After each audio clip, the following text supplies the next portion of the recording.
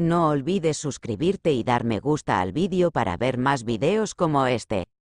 Cuando Homer fue al hotel a buscar a su hermano, lo vio tirado en el suelo.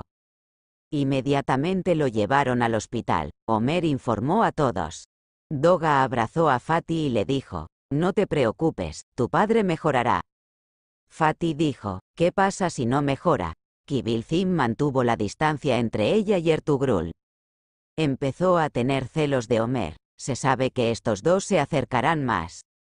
Homer seguirá divirtiéndose con Sevins durante un tiempo más. Aleb regresó anoche, estaba muy enojado y triste porque su familia no estaba con él.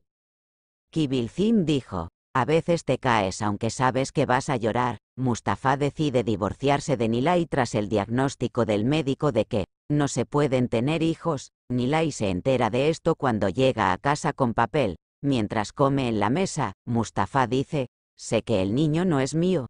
Nilay está sorprendida. A ver si estará con su amado Pembe Nilay.